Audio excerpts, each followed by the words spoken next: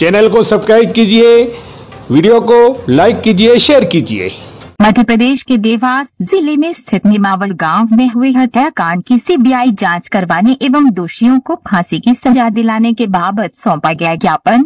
भील प्रदेश मुक्ति मोर्चा के बैनर तले विकास अधिकारी दोवड़ा को जिला कलेक्टर के माध्यम से राष्ट्रपति के नाम दिया गया ज्ञापन।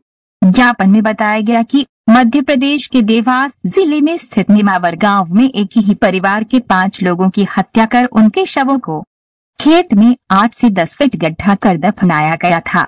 प्रशासन से मांग है कि इस मामले की सीबीआई जाँच करवाई जाए तथा दोषियों को फांसी की सजा दी जाए।